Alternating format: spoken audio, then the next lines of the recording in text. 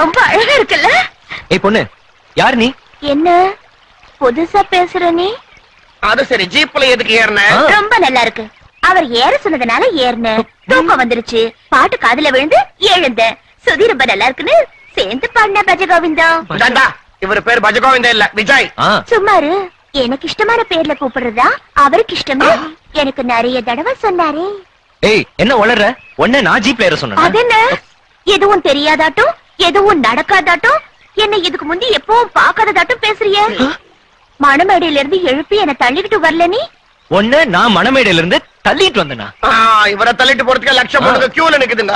இவர் என்ன தள்ளிக்கிட்டு வராது போனாலும் வெறுமனை இவரை விட்டுட்டு அந்த இஷ்டம் இல்லாத கல்யாணத்தை செஞ்சுக்க மாட்டானா? மனசுக்கு பிடிச்சவனோட நடக்கிறதாம் கல்யாணம். உன் காதலை என் கழுத்துல மூணு முடிச்சா போடு. ஏழு ஜென்மத்தை ஏழு அடிகளாக்கி வாழ்க்கையெல்லாம் உன் பின்னால நடக்கிற நாராயணா. சாவுனாலும் வாழ்வுனாலும் ம். உன்னோடதான். டேய் இந்த பொண்ணு ஏதோ பைத்தியக்கார ஆஸ்பத்திரில இருந்து தப்பிச்சிட்டு வந்த போல இருக்குடா மெதுவா பக்குவமா பேசி இதை தள்ளிட்டு போய் பைத்தியக்கார ஹாஸ்பிட்டல் போட்டுலாம் இல்லாட்டி நம்ம கழுத்துல சுத்தினாலும் சுத்திக்கோ. இல்ல? எங்க? எங்கடா? பைத்தியம் இங்கதானே இருந்துச்சு. எங்க போயிடுச்சு? என்ன சின்ன பஸ் இங்கதான் இருந்துச்சு காணுது பாஸ் கப்பு. ஐயோ கப்பைங்க இது பைத்தியம் இல்ல. கப்பு திருடு. கப்பு? கப்பு போனா போட்டோம். வா போலாம். போனா போட்டோம். எனக்கு என்ன?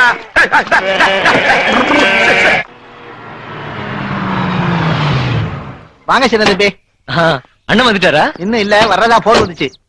அம்மம்மம்மம்மா சின்ன பாஸ் இது சாமானியமான பொண்ணு இல்ல. பல ஊர் சுத்தி பார்த்துட்டு வந்திருக்குது.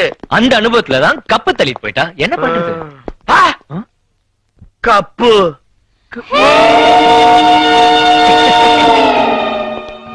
நம்ம கப்பு தான்டா. நம்மள்டா இங்க எப்படி வந்துச்சு? ரெக்க முளைச்சு பறந்து வந்துடுச்சு. வர வேண்டிய சமயம் வந்தா அந்தந்த இடத்துக்கு அது வந்துடும். வந்தது இருக்கட்டும். இது இங்க எப்படி வந்துச்சு? யார் கொண்டாந்தாங்க நான் தான் நான் தான் எடுத்துட்டு வந்தேன். நீ நீ இங்கேயே வந்துட்டியா? இங்க வராத போனா வேற எங்கடா போவா? பாக்குறதுக்கு சாது ஓட்டம் இருக்கிற நீ இப்படி ஒரு வேலை செய்வேன் நான் நினைக்கவே இல்லை. என்ன செஞ்ச? சொல்லுங்க? இந்த பொண்ணை விரும்பி கல்யாணம் பண்ணிக்கிறேன்னு சொல்லிட்டு இப்போ இல்ல போவங்கிறியா ஓஹோ பாட்டிமா இந்த பாரு. இந்த பொண்ணு யாருன்னே எனக்கு தெரியாது. தெரியாதா? தெரியாட்டி போனா உன் கப்பு இந்த பொண்ணு கிட்ட எப்படி வந்துச்சு? கப்பு. எப்படிடா வந்துச்சு. முடிய பிச்சுக்கலாம் போல இருக்கு. ஏய் யாரு? எங்க இருந்து வந்த?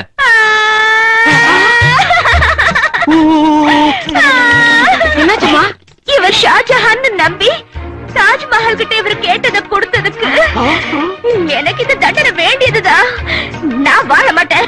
மேல விழுந்து செத்து போறேன். மேல இங்க வராது. வாய் விடு உனக்கு எவ்வளவு பணம் தேவையோ அவ்வளவு பணம் தர இங்க இருந்து வெளியே. டேய் நீ எந்த ஆட்டம் வேணாலும் ஆடு. ஆனா ஒரு பொண்ணு கிட்ட இந்த மாதிரி விளையாட சும்மா இருக்க மாட்டேன். இவன் அண்ணன் நாளைக்கு காலையில டெல்லியில இருந்து வர போறான் அவனுக்கு தெரிஞ்சா கொன்னு போடுவான்.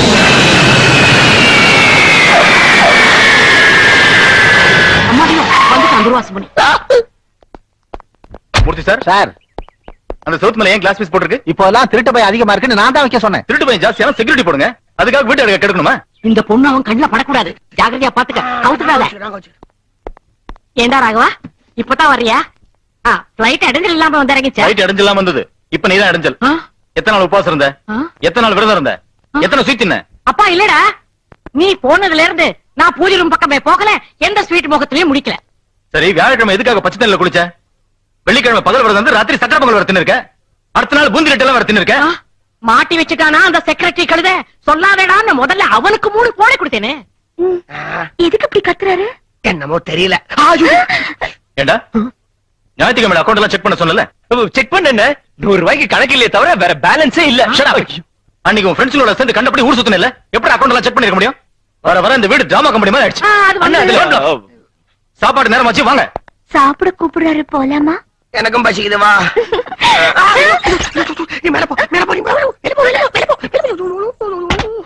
மூர்த்தி சார். சார். நம்ம திருப்பூண்டில இருக்க சொத்துக்கள் எல்லாம் வித்துலாம் இருக்க பாட்டியை பாருங்க. இப்ப கொடுத்தா ஒண்ணுக்கு பாதியா கேட்பாங்க. பாதி வேலை ஆனாலும் பரவாயில்ல. அப்படின்னா சரி. என்னடா அது? அது நம்ம பெரியவங்களும் நானும் பிறந்த ஊருடா. தங்கை நாடார் பிறந்து செத்த ஊர் கூட தானே எதுக்குடா போனவங்கள பத்தி அப்படி பேசுற? சே சுமாரு. நம்மள மோசம் செஞ்ச அந்த மனுஷ குடும்பத்தை சேர்ந்தவங்க இருக்கிற அந்த ஊர்ல நம்ம இருக்கவே கூடாது. அதனாலதான் வித்துற போறேன். என்ன? அந்த ஊர்ல அப்படி வெறுக்கிறாரு அவரு? திருப்பூண்டி தங்கையா நாடார் குடும்பத்துக்கும் இவங்களுக்கும் ஆஸ்தி தகராறு கேஸ் இருக்குது. தங்கையா நாடார் இவங்க அப்பாவை மோசம் செஞ்சுட்டாருன்னு ரெண்டு குடும்பத்துக்கும் உறவு விட்டு போச்சு. இந்த கதையெல்லாம் உனக்கு எதுக்கு? எனக்கும் அந்த ஊருக்கும் ஒரு சின்ன தகராறு இருக்கே. அப்பா இது எப்படிடா விடுறது இப்போ? அட்டை மாதிரி ஒட்டிக்கிச்சே. சின்ன பாஸ் எனக்கு ஒரு டவுட் வருது. ஒருவேளை நிஜமாவே நீ இந்த பொண்ண லவ் பண்ணிட்ட? சும்மா சொன்ன விடுங்கய்யா. அந்த பொண்ணு பாட்டிமா பக்கத்துல தான் படுக்கும். இன்னும் கொஞ்ச நேரத்துல நல்லா தூங்கிடும். நாம போய் கையும் காலி கட்டி நைட்டு குச்சி வண்டியில போட்டுட்டா சென்னைக்கு போய் வியாபாரம் செஞ்சுக்கோ அதனாலதான் இந்த வீட்ல இருக்கிற வரைக்கும் படுத்து தூங்குறது இல்லைன்னு முடிவு பண்ணிருக்கேன்டா பப்பரவாய் பறங்கி காட்டாலையா ஏய் இந்த நேரத்துல நீ இங்க என்ன செய்யற அத சொல்ல முதல்ல பாருங்க இப்ப நீங்க என்ன பத்தி என்ன சொன்னாலும் நம்பவே மாட்டாங்க இப்பவே போய் உங்க அண்ணனை எழுப்பி நம்ம விஷயத்த சொல்லட்டுமா சொல்லட்டேம்மா என்ன சொல்ல போற!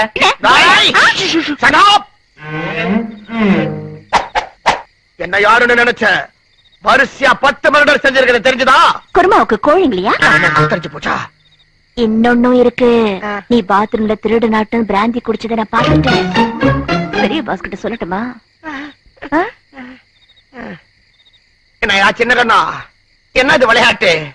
பொண்ணுன்னா கையில இருக்கிற மகுடி நினைச்ச ஊதி விளையாடுறது. ஏய், பாருமா உனக்கு ஏதாவது இடைஞ்சல் வந்தா உங்க அண்ணன் நான் இருக்கிறேன். உடல் வேற நாள் ரத்தம் ஒண்ணுதான் ம். பாருமா இந்த பாத்ரூம் பிராண்டி மேட்டர் பெரிய பாஸுக்கு சொல்லிடாதே. சொல்ல மாட்டேன். ஜாக்கிரதை. ஏய் ஜாக்கிரதை. போடா. யோ தூக்கம் வர மாட்டேங்குது. என் இடுப்புல வச்சுக்கிட்டு தாலாட்டு பாடையா போங்கிறது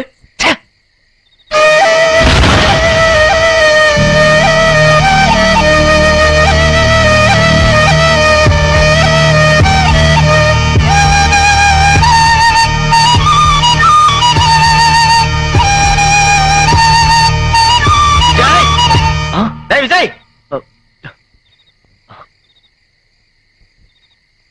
அப்பா என்னடா இது? நடுராத்திரியில கூத்து. அது ஆ, அது ஒண்ணுமில்ல புது டியூன். சிக்கன் டம் ஸ்ட்ரிக். போய் படுத்துக்க. என்னங்க? ஹிட்லர் போயிட்டாரா? போய்கிட்டே இருக்கேன். ஹிட்லர்? இன்னும் போக ஆ? இந்த பொண்ணு யாரு? பெரியவன் கேக்குறான். இப்பவாவது உண்மையை சொல்லேன்டா. அது வந்து ஏய் நீ பேசாத பல்ல உடைச்சுடுவேன் டேய் எதுக்கு அந்த பொண்ணை மிரட்டுற? இதுக்கு முந்தி லவ் பண்ணிட்டு இப்ப இல்லங்கறியா? நாங்க எதாவது நினைச்சு போனா? இல்லாட்டி போனா மூத்த நான் இருக்கும்போது எனக்கு முன்னாடி உனக்கு கல்யாணம் நான் வருத்தப்படுவேன்னு நினைக்கிறியா? இல்ல என்ன இதெல்லாம் போய் டிராமா டேய் உண்மைதாங்க. இந்த கொள்ளுவா பிசாசத்துக்கு முந்தி பார்த்தது இல்ல நீ என்ன ஜாலராவா? உன் பேச்சுதான் என் பேச்ச கேட்க மாட்டேன். என்னடா கேக்குறது? நான் அப்ப சொன்னதெல்லாம் போய். நான் அவரை எப்பவும் பார்த்ததில்ல.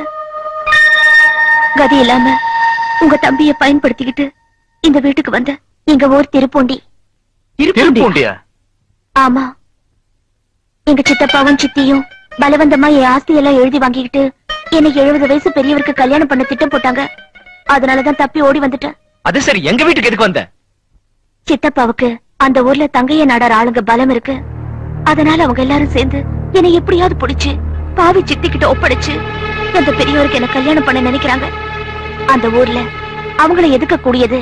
நீங்க தானே தெரிஞ்சு கடைசி ஆசையோட உங்ககிட்ட ஓடி வந்தேன். அந்த தங்கையா செத்ததுக்கு அப்புறமும் அவரோட ஆளுங்களுக்கு கொழுப்பு இன்னும் அடங்கல போல் இருக்கு. அப்பாக்கு செஞ்ச அநியாயத்துக்கு அவங்களுக்கு எப்படி புத்தி கற்பிக்கிறதுன்னு யோசிச்சுட்டே இருந்தேன். இப்ப உன்னால அவங்க கிடைச்சாங்க. டேய் அந்த ஊர்ல எப்படியாவது நம்ம ஆஸ்தியை வித்துலாம் நினைச்சோம்ல? அங்க ஆஸ்தியை வித்தா மாதிரி இருக்கும். இவங்க சித்திக்கு புத்தி கற்பிச்ச மாதிரி இருக்கும். அந்த தங்கை ஆளுங்களோட கொழுப்பு அடக்கின மாதிரி இருக்கும். பாட்டிமா? நாளைக்கே திருப்பண்டி போறோம். வீடு எங்க இருக்கு? என்ன தகராறு? அந்த ஆளுங்க எல்லாம் யாரும் எல்லாத்தையும் தெரிஞ்சுட்டு அங்க இருந்து நேரா நம்ம கெஸ்ட் ஹவுஸ்க்கு வந்துரு. Murthy sir sir. ரெண்டு நாள்ல நம்ம வேலையெல்லாம் முடிச்சு இங்க இருந்து போயிடணும். ஆகட்டும் சார். கடவுளே! நாலு வாரம் ஆயிடுச்சு. இன்னைக்காவது கருணை காட்டு. என் வயித்த கலக்க வை. ஐயா அம்மா!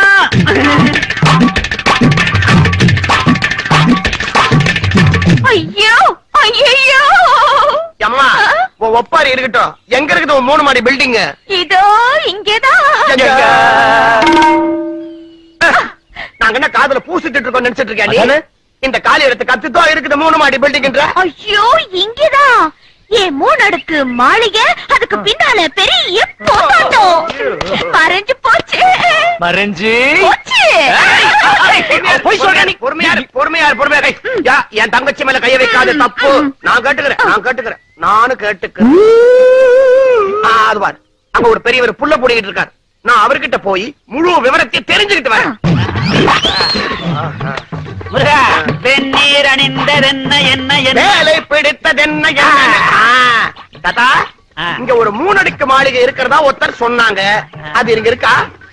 மாளிகை. நான் பார்த்தது இல்லையே. நான் இங்கேயே இருபது வருஷங்களா தினமும் இந்த வேலையை செஞ்சுக்கிட்டு இருக்கேன். இருபது வருஷங்களா? தினமும் மூணு பொழுதும். மூணு பொழுதா?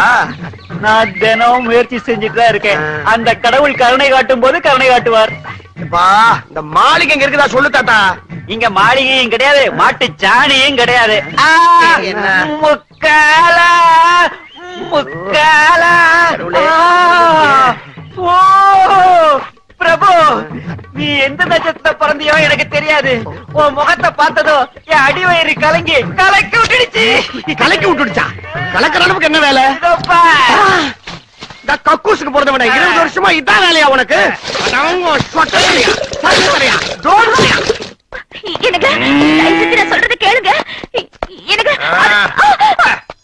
என்னடா என்னாச்சு? இன்னொரு புது கதை ஆரம்பிக்குதுங்க.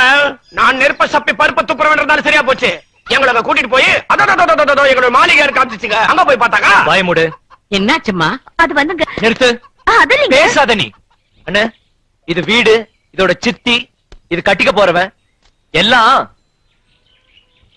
அங்கதான் இருக்காங்கண்ணே சரி அவங்க என்ன சொல்றாங்க? நான் பேசுறதுக்குள்ள இது சித்தி புல்டாக் மாதிரி என் மேல விழுந்தாங்கண்ணே என் பொண்ணை கொண்டு போய் கற்பழிச்சேன்னு என்ன எவ்வளவு கேவலமா பேசுனாங்க தெரியுமா? ஏன் கண்ணு முன்னாலே தேவி அடிச்சு அந்த கேவனுக்கு ரெண்டாம் தாரமா வாழ்க்கைப்படுன்னு சொன்னாங்க. நீ சும்மாவா இருந்த? சும்மா இல்ல பாட்டிமா. தேவிக்கும் உங்களுக்கு சம்மதம் இல்ல. அந்த பொண்ணை பத்தி எந்த வித தப்பான முடிக்கும் நீங்க வரக்கூடாதுன்னு செருப்பால் அடிச்ச மாதிரி சொல்லிட்டேன். தடுக்க வந்த அந்த தங்கைய நாடார் ஆளுங்களை ஊர் எல்லா வரைக்கும் அடிச்சு விரட்டிட்டு தேவி என்னோட கூட்டிட்டு வந்தேன். பிரமாத வேலை செஞ்ச பிரமாதம் இருக்கட்டும். இந்த பொண்ணு எங்க தங்குறது? எப்படி வாழுறது? இதுக்கெல்லாம் யார் என்ன செய்யறது? என்ன செய்யறதோ இதுக்கு என்ன வழி காமிக்கிறதோ அண்ணன் தம்பி ரெண்டு பேரும் யோசிச்சுக்குங்க. அது வரைக்கும் தேவி என்கிட்டயே இருக்கட்டும். நீ வாம்மா வா. ஏண்டா இப்ப இந்த பொண்ணு விஷயமா ஏதாவது யோசிச்சியா? அந்த பொண்ணு விஷயம் இப்ப இது வரைக்கும் தான் யோசிச்சேன். ஆ? என் பொய்ய உண்மைன்னு எதுக்காக சொன்னேன்னு? என்ன யோசிச்சாலும் எனக்கு விளங்கல குப்புசாமி. ஆறு குப்பம்மா உன் பேச்சு பொய்யா இருக்கலாம் உன் செயல் மோசமாவே இருக்கலாம். ஆனா ஒரு பொண்ணு தனியா இங்க வந்து இவ்வளவு துணிச்சலோட பேசிட்டு இருக்கான்னா அவளுக்கு பின்னால ஏதோ கஷ்டங்கள் இருக்கு பிரச்சனைகள் இருக்குன்னு எனக்கு புரிஞ்சிருச்சு. அதுக்காக எங்க அண்ணன் முன்னால உன்னை சமாளிச்சேன். ஆனா எனக்கு ஒண்ணு தெரியணும். நீ எங்க வீட்டுக்கு எதுக்கு வந்த? எங்க மத்தியில இந்த நாடகம் எதுக்கு ஆடுற? உங்க மத்தியில இருக்கணுங்கிறதுனால. என் பிரச்சனை உங்க வீட்டோட சம்பந்தப்பட்டதுனால. நான் உங்க வீட்டுக்கு வந்தேன். எப்பவாவது உண்மை சொல்ல வேண்டி வந்தா அத முதல்ல உங்ககிட்ட தான் சொல்லுவேன். அப்படின்னா? நீ என்ன சரியா புரிஞ்சுக்கிட்டவனா இருந்தா நான் சொல்ற வரைக்கும் என்ன பத்தி நீ எதுவும் கேட்க கூடாது சரி.